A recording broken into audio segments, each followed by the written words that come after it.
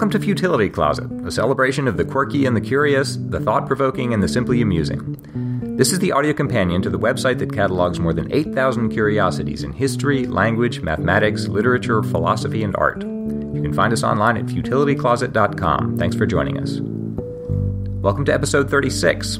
I'm Greg Ross. And I'm Sharon Ross. In today's show, we'll learn about the Great Moon Hoax, a series of articles in the New York Sun in 1835 that described flying man bats and sapphire temples on the moon. We'll also learn why Montana police needed a rabbi and puzzle over how a woman's new shoes end up killing her.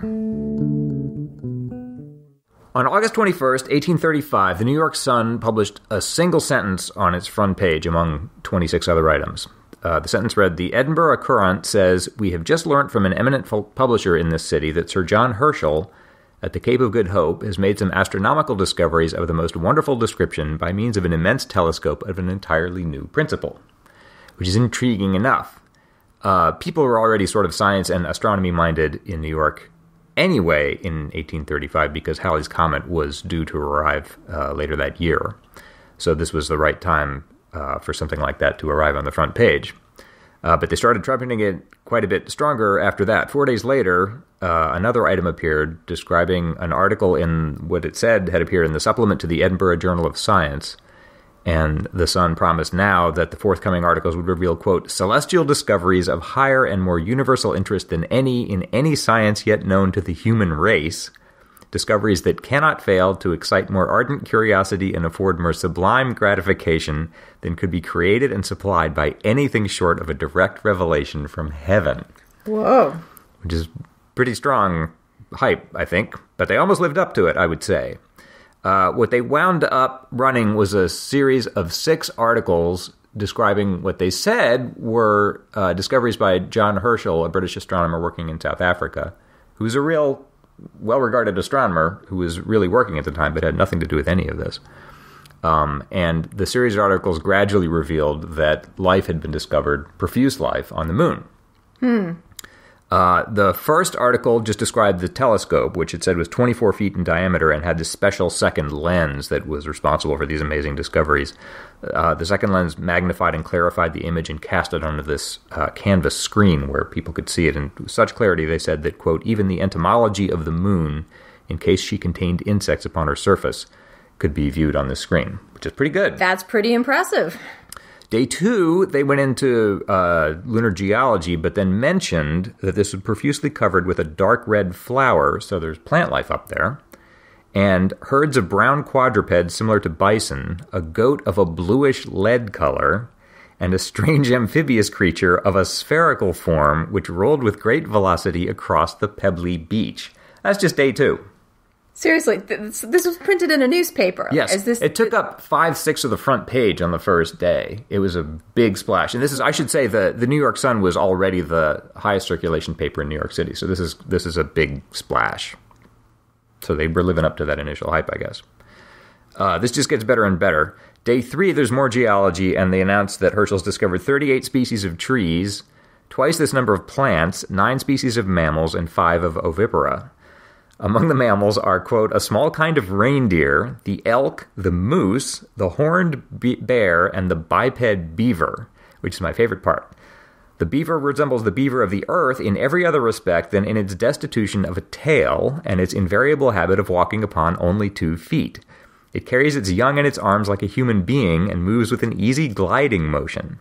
Its huts are constructed better and higher than those of many tribes of human savages, and from the appearance of smoke in nearly all of them, there is no doubt of its being acquainted with the use of fire. I'm still stuck on which is more amazing here that these things are existing on the moon or that we would have a telescope that is so good You're way ahead of that we else. could see how beavers were carrying their young. Um, we'll get into that in a second. It's okay. not clear. It's not clear how much people believe this, but contemporary accounts of it seem to indicate that a lot of people were buying this, were thinking oh it was literally true. I'll go on. That's the day three of the. That's just day three. Days. Day four. Uh, the scientists discovered human-like creatures living inside a ring of red hills that they called the Ruby Coliseum. Here's a description of these creatures. "Quote: They average four feet in height, were covered, except on the face, with short and glossy copper colored hair and had wings composed of a thin membrane without hair lying snugly upon their backs, from the top of their shoulders to the calves of their legs. The face, which was of a yellowish flesh color, was a slight improvement upon that of the large orangutan, being more open and intelligent in its expression and having a much greater expansion of forehead. The mouth, however, was very prominent, though somewhat relieved by a thick beard upon the lower jaw and by lips far more human than those of any species of simian genus. In general symmetry of body and limbs, they were infinitely superior to the orangutan, so much so that, but for their long wings, Lieutenant Drummond said they would look as well on a parade ground as some of the old Cockney militia. And these creatures apparently were seen to engage in conversation and those seemed to be rational creatures. Uh huh. And just adding a second lens to a telescope lets you Yes. see what parts of their body have hair or not. I mean, Yes. this is this is pretty amazing. You're seeing right through the whole technology into this. Uh, more so than I think people did at the time. Day five is a bit mysterious. Apparently, they discovered a, a temple made of polished sapphire that was apparently abandoned and whose roof was fashioned to look like a mass of flames rising upward. Okay. There's, there's not as much to that, except that they seem to have some kind of religion. they ran out of details. Yeah, I guess.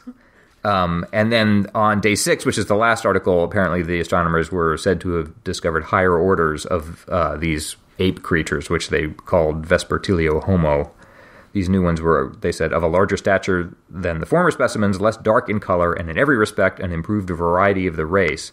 These lived near the temple and reigned in a universal state of amity among all classes of lunar creatures. This sort of a paradise on the moon. Uh, they spent their time flying, bathing, conversing, and collecting fruit, which grew on nearby trees. Unfortunately, you'll be grieved to hear that at this point, the lens of the telescope caught the sun's rays and burned down the wall of the observatory. so they had to give up reporting Oh, any more my. on what had been discovered on the moon, which is sort of convenient because I don't know how they were going to top some of this recent stuff. But they promised more in an upcoming volume, which they once they repaired everything.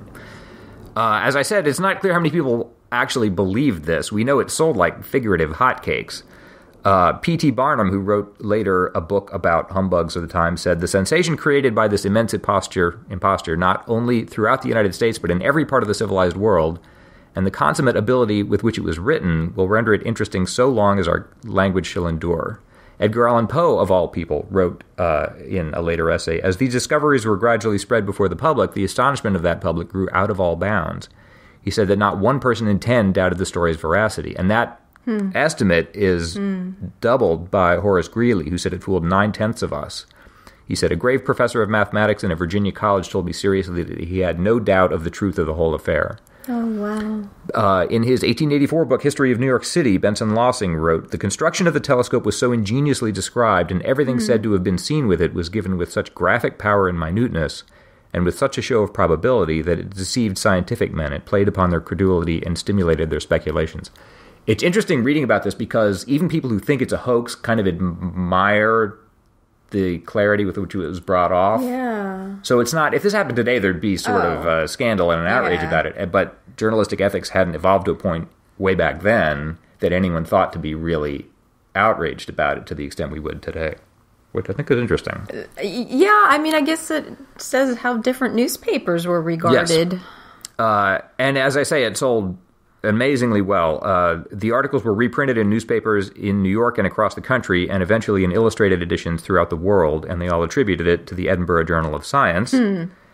Uh, when back issues of the New York Sun sold out, they published a pamphlet which sold 20,000 copies in the first week, and eventually a national edition sold 40,000 copies.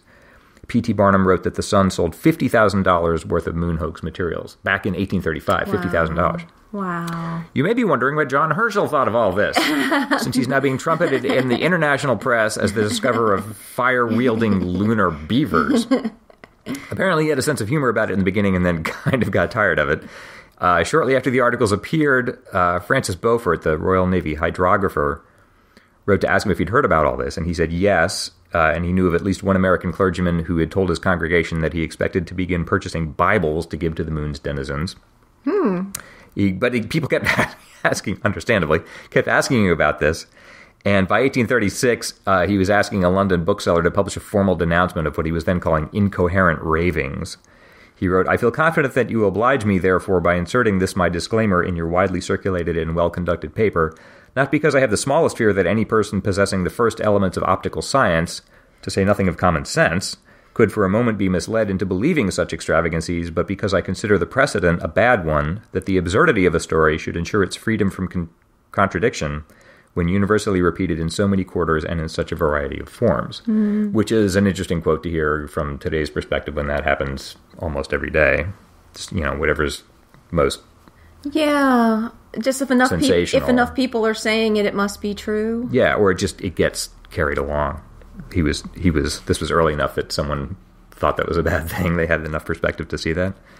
Um, the first intimations that this might be a hoax came from, I guess, predictably, uh, the editor of a competing paper, James Gordon Bennett, the editor of the New York Herald, who began by pointing out, first of all, and quite tellingly, that the Edinburgh Journal of Science had ceased publication three years earlier. Oh, well, that is a rather a telling point, yes. Uh, that John Herschel doesn't possess an LLD, as he was said to in the article, and that he said the description of shadows on the moon was incorrect on mathematical principles. But even he is sort of complimentary. He wrote Mr. Locke, he, he uh, attributed all this, the hoax, to the editor of The Sun, Richard Adams Locke, who was a 35 year old itinerant journalist who had just started uh, editing the paper a couple months earlier. Bennett, this competing um, editor, wrote Mr. Locke, however, deserves great credit for his ingenuity, his learning, and his irresistible drollery. He is an original genius and very gentlemanly in his manners. If he would come out and tell the public frankly the whole secret of history of the hoax, he would lose nothing in character or in talent. We tender to him cheerfully the columns of the Herald for that purpose. And Locke wrote back a rather artfully worded dodge as to whether this was a deliberate hoax. He wrote, Some paragraphs written by Mr. James Gordon Bennett were put into my hand this morning, which strangely enough attribute to me the astonishing astronomical discoveries lately made at the Cape of Good Hope by Sir John Herschel. Mr. Bennett, in seeking for a notoriety, he found, uh, in seeking for notoriety, has found a mare's nest. I beg to state, as unequivocally as the words can express it, that I did not make those discoveries, and it is my sincere conviction, founded on a careful examination of the internal evidence of the work in which they first appeared, that if made at all, they were made by the great astronomer to whom all Europe, if not incredulous America, will undoubtedly ascribe them. That's carefully worded because he says, I didn't make the discoveries. Well, no one's claiming he made the discoveries. Right. We're saying he publicized discoveries that were never made. Also, uh, his disavowal here includes the phrase, if made at all. He says, uh, careful examination of the internal evidence uh, of the work in which they first appeared, that if made at all, they were made by the great astronomer to whom all Europe. In other words, he's acknowledging that they might not have been made, sort of in passing. But if they were made, they were they still go back to to Herschel. To Herschel. So he's sort of trying to carefully straddle a fence there. Uh, Bennett kept after him, but he didn't make uh, he didn't say anything more about it. It's possible that Locke, who later did confess, felt sort of contractually bound because he was working for the paper and he thought the secret uh, wasn't his to reveal. Mm. It's not clear. He never quite comes out and says that. And the explanation he does give, I don't think makes any sense. Anyway, the, the first stories appeared in August, and by the beginning of September, the word hoax was starting to be thrown around quite freely. And Locke, the guy who turned out to have written these things, didn't come forward to say anything further. Uh, at a local watering hole in New York where reporters gathered, uh, Locke told a journalist friend named Finn, who worked for the Journal of Commerce. Finn was told told him that he was thinking of reprinting the moon story uh, in his own journal, and Locke allegedly told him, "Don't print it right away. I wrote it myself." Finn took mm. that as a hmm. scoop, and the Journal of Commerce ran a piece denouncing the series as a hoax. So oh. it's starting to get out at this point.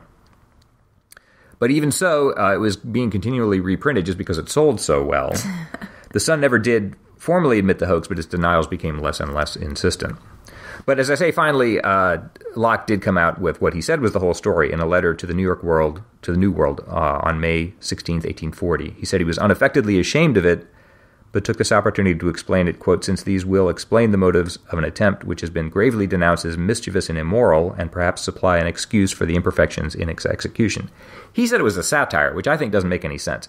There was uh, a movement abroad called natural theology, in which uh, particularly a man named Thomas Dick was saying the extent, at least as I understand it, of the universe was proving to be so great that it seemed odd that uh, God's creation would be limited to a single planet full of rational creatures. So they began this natural theology movement was spreading the notion that the universe was full of life, all of which were uh, mm-hmm. Enjoying God's creation. So he they were putting forth the idea that there were rational creatures on the moon. And Locke was saying that his hoax articles were intended to satirize that, which he thought that was sort of trespassing on proper science, just sort of Hmm. presuming that there were living creatures out there that when their uh, existence hadn't been proven. Yeah, that seems kind of a thin explanation. The reason that doesn't make I mean, there's a lot of reasons that doesn't make sense. The main Yeah. one to me is that if the whole point of this was a satire designed to poke fun at natural theology, he should have stepped onto the stage once this thing had made a splash and said so. And maybe made it clearer. I mean, it wasn't run as a satire or a parody. No, and it doesn't read that way. Yeah. So I'm not sure what. It's possible that it's just as simple that he just wanted to sell more papers, but he never gave a different explanation. He just insisted it was a satire of this sort of religious movement. I guess that's the most face saving thing he could come up with. Yeah, it is in the uh, the significance now, apart from being being hugely entertaining, is that this is the first real mass media hoax. The New York Sun was the first penny paper in New York. Up until that time, newspapers cost six cents, which put them out of reach of a large mass of people. And so, newspapers until that time were uh, uh, supported by subscriptions rather than advertising. And the Sun's great innovations are that it used steam powered printing presses and newsboys to help get the word out for a very low price. And so they could rely on advertising and just write for a huge mass audience. So this was the first time, really, at least in the United States, where such a wide scale hoax could even be perpetrated. And the interesting thing about that, a good example is uh, Edgar Allan Poe, of all people, just sh- shortly before this, had written a story uh, about a Dutch bellows mender named Hans Pfaall, who had supposedly taken a balloon to the moon, and in a two part story, they were going to describe what he found there.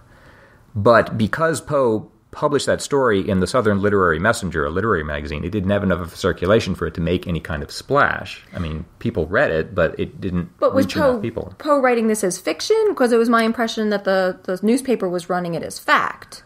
Yeah, well, it's it, people disagree about that. Some people think mm. Poe's tone in Hans Pfaall was too comical for anyone to take it seriously as fact, but Poe was much. Good he's remembered now as a mostly mystery and macabre writer, Right. but he had quite a sense of um, playful mischief and perpetrated a number of other hoaxes. So Oh.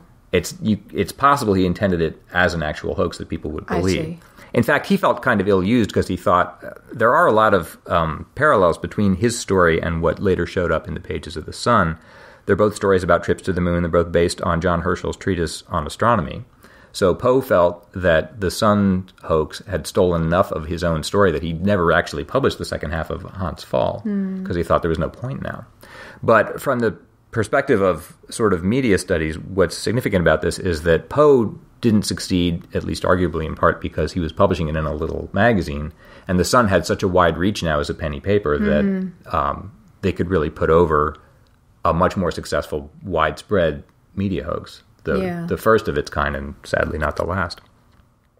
So that's sort of what it means uh, now. I think it's the other thing that is interesting to me in reading all these stories is that, from our perspective today, looking back on it, it looks like an old timey science fiction story, sort of like Jules Verne. But Verne was actually writing 20 and 30 years after this. This is 1835. It's very early for this thing, sort of thing, to show up. So is this sort of like the first versions of science fiction? Yeah. Actually. Yeah, and it, it's if you just saw the illustrations, read some of the stories, you wouldn't realize that it had shown up that early. So Locke deserves credit at least for that much. Well, I think what really astounds me is to realize that newspapers. Well, of course, of course it says it seems um, uh, too innocent of me to say that they can't be trusted, but I, you know, a lot of people take when we don't have good written history of different things. We look back at the newspaper accounts and say that that is where we can get some of the written history Yeah. to know what actually happened, and it's kind of alarming to realize. Well, you you you really can't. I mean, it can be this off, like this just entirely yeah. made up. And we ran into some of this in the, the airship episode, especially in the 19th century. yeah. Journalistic ethics hadn't really evolved yet. So there were all kinds of hoaxes and pranks and jokes and stuff that were published in papers deliberately to fool the readers. Deliberate. That's the part, I guess, the deliberately to fool the readers. It's not that they were mistaken or they rushed to judgment, but that it was deliberately to Yeah, and it up- deliberately made up. It upsets me now because now if you go to journalism school, the ethics is all over the place, and you just you would never. I mean, obviously it still happens today, and it shouldn't happen ever. But this is really the fact that this was done so sort of baldly at the time, Wow. without any thought for the readers. I mean, your your reliability is all you've really got ultimately in journalism, mm-hmm. and if you just throw that away, then it's it's sort of the worst crime you can commit. Hmm. We'll have links to the full text of the 1835 articles in our show notes at futilitycloset.com.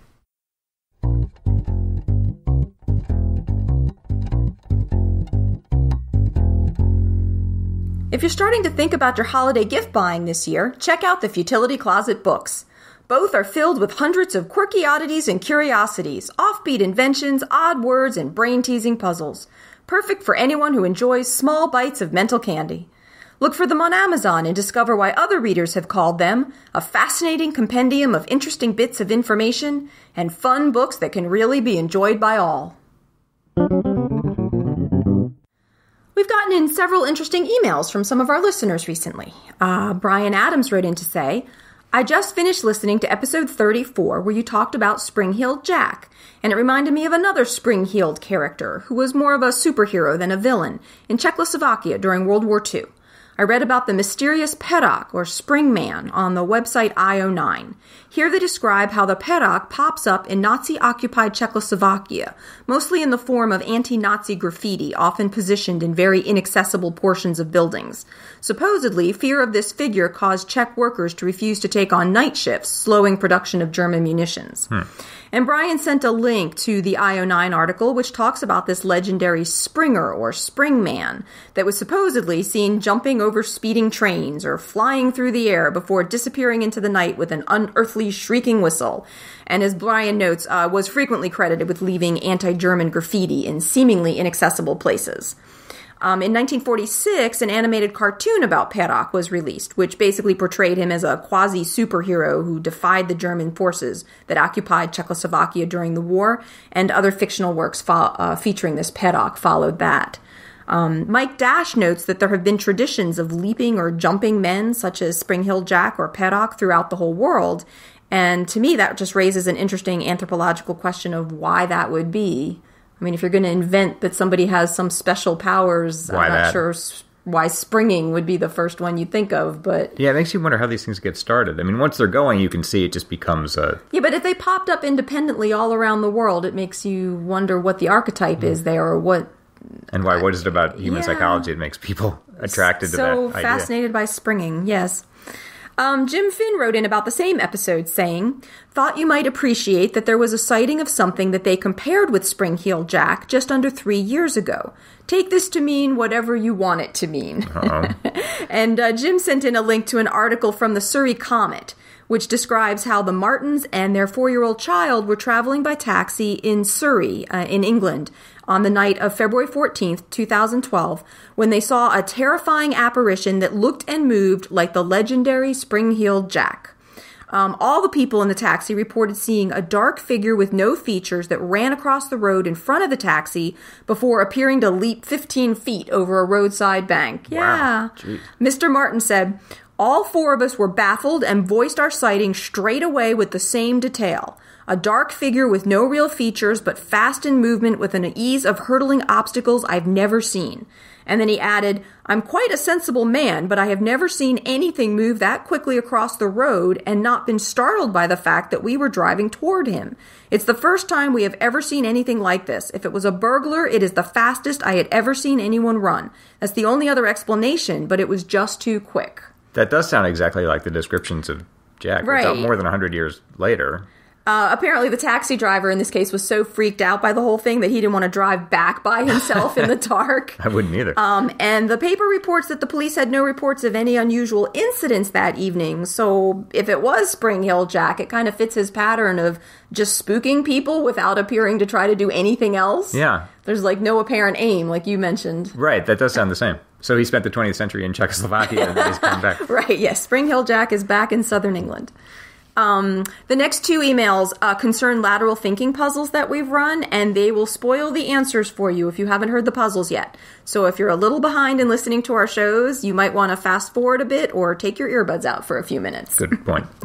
Sherry Hillman wrote in about our puzzle from episode 34 and said, the recent puzzle about police dogs trained in foreign languages reminded me of this story, which made quite an impression on me at the time that it was published.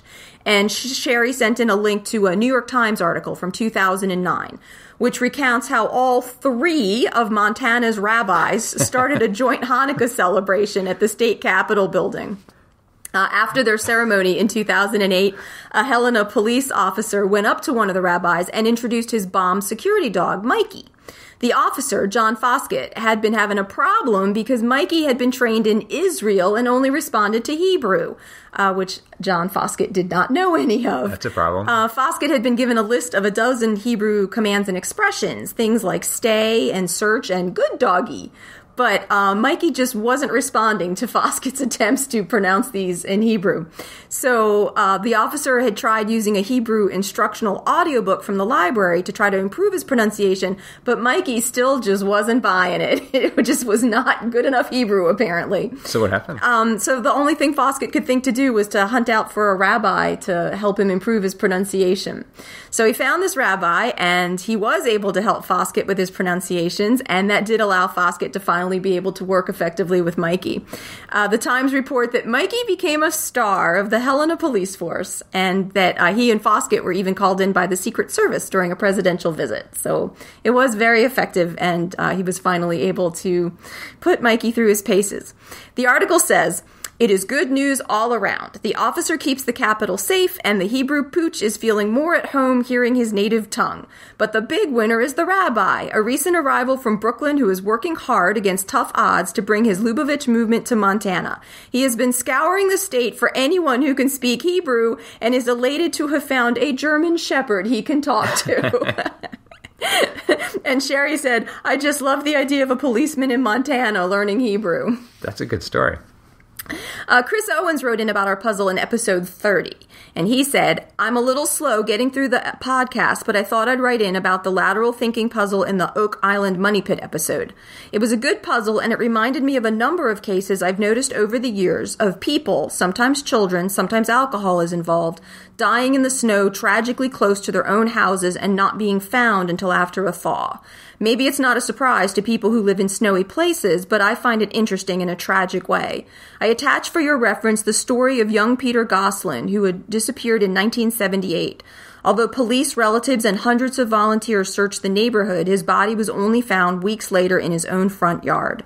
So I suppose good puzzle and sadly plausible. Yeah, that's uh, really sad. Uh, Chris sent in the link to a newspaper account of actually a rather grim story of a 10 year old boy who was missing in Massachusetts for three weeks after a blizzard struck. And um, I'll leave it up to listeners if they want to find the link in the show notes and read the story for themselves. Um, I was interested to hear that this kind of thing actually does happen and that the puzzle was even more plausible than we realized at the time. Yeah. We've lived in North Carolina for the last several years, and this doesn't happen here. But yeah, we don't get enough snow. we don't get it, begin to get enough snow, and the snow doesn't stick around for long enough. So, so that was interesting to hear. Um, we'll have all the links that were sent in to us about these stories in our show notes at futilitycloset.com. Uh, thanks to everyone who writes in to us. And if you have any questions or comments, please send them to us at podcast at futilitycloset.com.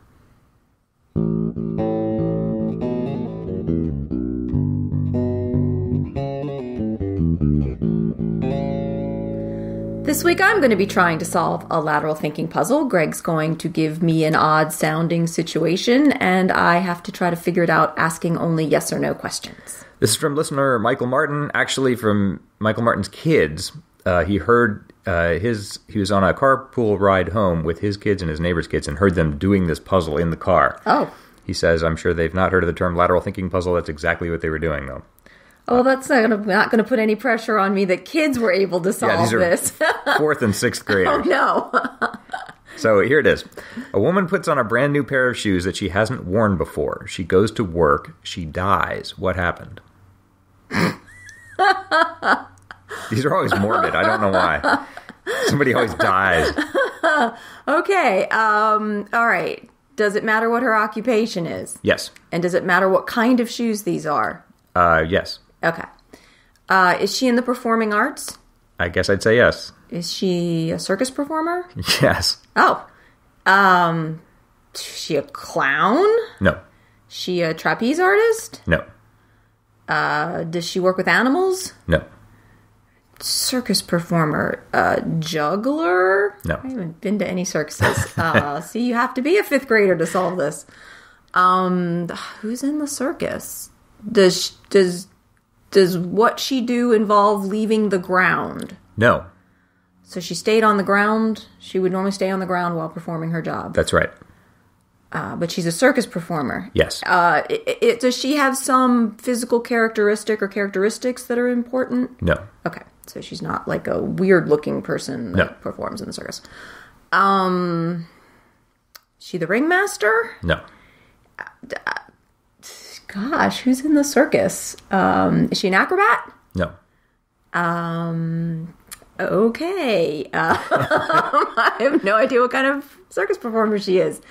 Um, okay, are these shoes that people would normally wear to just go walking outside and go about their business? Yes. Yes. So they're not like ballet shoes or Oh, no. or I mean so they're like would you have to buy these shoes in a specific kind of store? No. So you could just go buy these shoes in the mall. Yes. Okay. Um would you say there was something wrong with the shoes? No. Was there something unexpected about the shoes? No. Um, Did she expect the shoes to have some property or characteristic that they failed to have? No.